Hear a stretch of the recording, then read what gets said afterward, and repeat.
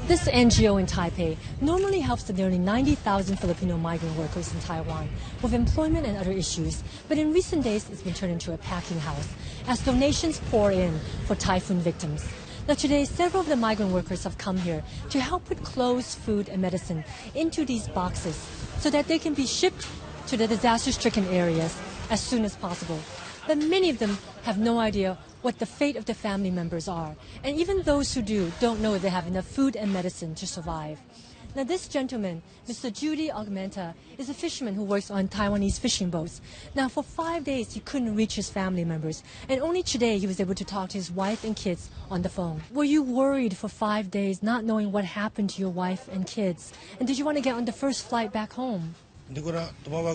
I was worried for the past few days because I couldn't contact my family.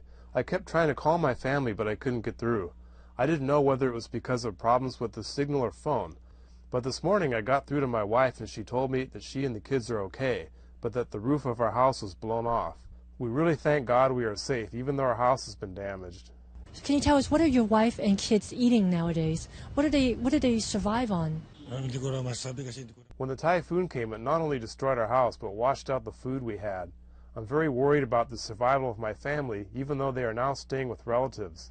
We were already poor to begin with. So do you hope that these supplies, including baby powder, you know, food, canned food, diapers, can reach your, your wife and kids as soon as possible?